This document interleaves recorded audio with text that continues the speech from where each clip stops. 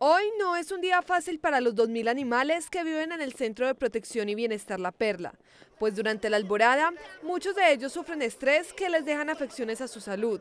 Es por esto que la Secretaría de Medio Ambiente inició un tratamiento especial para que las detonaciones no generen daños en los seres sintientes.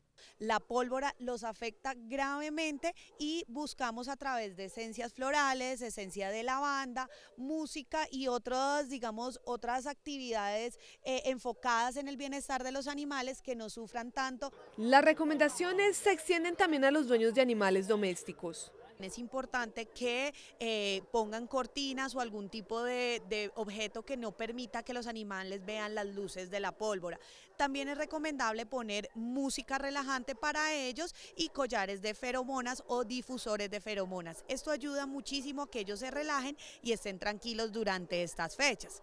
También es importante decirles que no mediquen a sus animales de compañía.